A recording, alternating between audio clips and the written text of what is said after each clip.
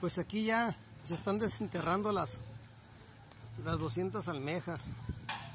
¿Cómo salieron, Jesús? A ver cómo tienen que quedar. Tatemaditas, mira. Ah, o sea que las tengo que probar. Vamos a probar la, la almeja tatemada. Mmm. Mmm. O no tiene sal, no tiene nada, pues está en su jugo. La verdad, riquísimas, ¿eh?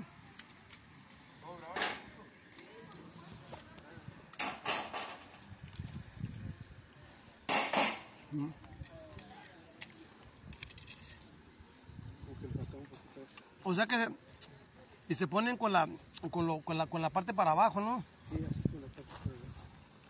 Yo, yo pensé que al revés, ¿no? Pero está bien. Ok, sí es lo que me.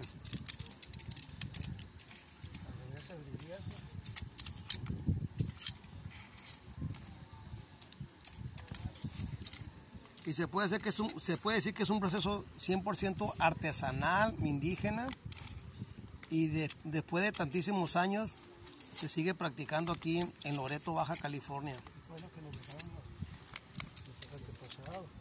Sí.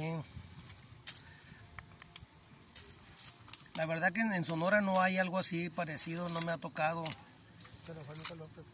¿Eh? Pues nunca lo han practicado, la, la- la verdad, ¿eh? O sea, Buenas tardes. mira. Ahí se abre, no- nomás la golpeó contra el suelo y ahí se abrió la almejita. Órale.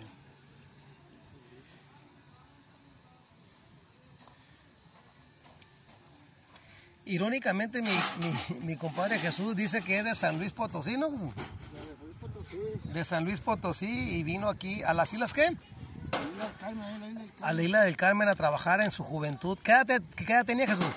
Llegué a los 18 años. A los 18 años y aquí se quedó en Loreto. Aquí me casé y tengo cinco hijos. Tiene cinco hijos, qué bendición, ¿no? Y él es el que está practicando aquí de un estado, pues, se puede decir, del centro del país, que también tiene una cultura muy hermosa, lugares preciosos. Y él, y él aquí, aquí vino a quedarse, mira. Oye Jesús, ¿y, y- y les envías tú algún video a tus familiares de allá, algo así o no? Pues ya dónde conocer porque aquí han tomado muchos videos de mucha gente que ha venido de, de, de- De muchas partes de la República, ¿no? Mundial ya. mundial ya, ya, ya, ya los videos todo es a nivel mundial, pues. De hecho, e- e- esto va para el canal del Quevedo, ¿no? De Hermosillo. Así se llama el, el canal El Quevedo de Hermosillo. Mira. Pues ahorita vamos a venir aquí al hotel, vamos a ir a, a ponernos guapos para la cena, porque es una tradición aquí los sábados en Loreto.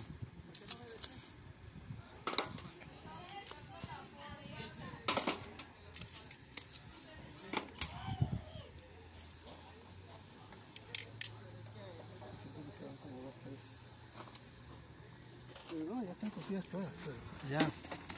Pues ahí está, gente hermosa, para que aprendan un poquito más de las culturas de cada estado de la República Mexicana. Porque dicen que cada estado de la República es un país diferente por culturas, comidas, bailes.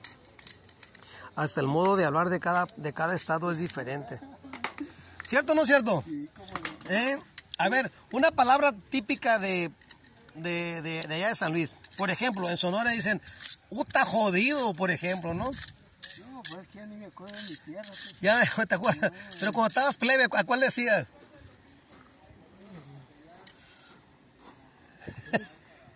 ¿A cuál te acuerdas? A ver, ya no se acuerda. Bueno, una palabra típica de aquí, que se use mucho. Este... Sí, pues. Sí, pues. Sí, pues. Sí, pues. ¿Qué onda? Sí, pues.